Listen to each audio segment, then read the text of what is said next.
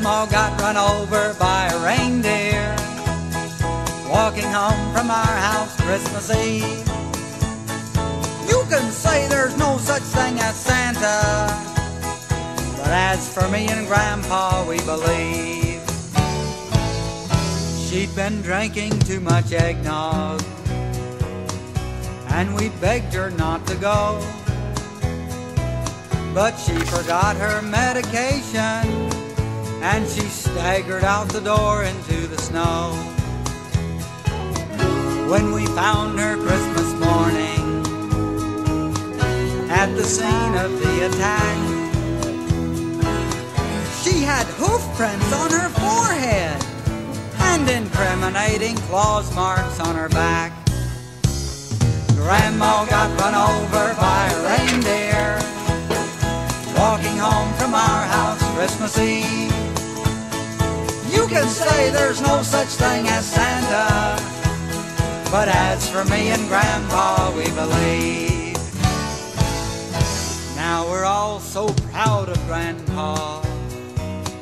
He's been taking this so well. See him in there watching football, drinking beer and playing cards with Cousin Mel. It's not Christmas without Grandma. All the families dressed in black. And we just can't help but wonder should we open up her gifts or send them back? Send them back. Grandma got run over by a reindeer walking home from our house Christmas Eve.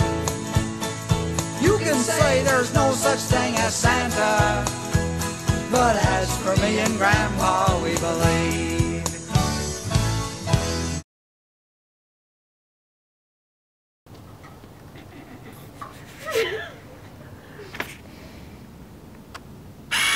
Or like a surprise, like.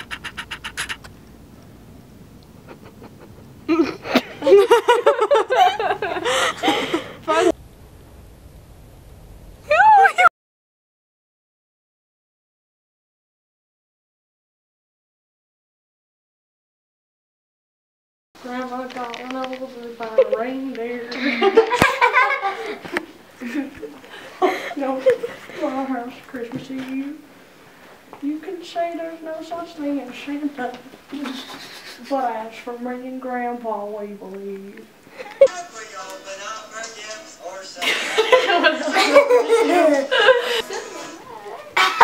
Oh no, that's good. On my nose hairs. I love the noses coming out. That's so gross. Merry Christmas.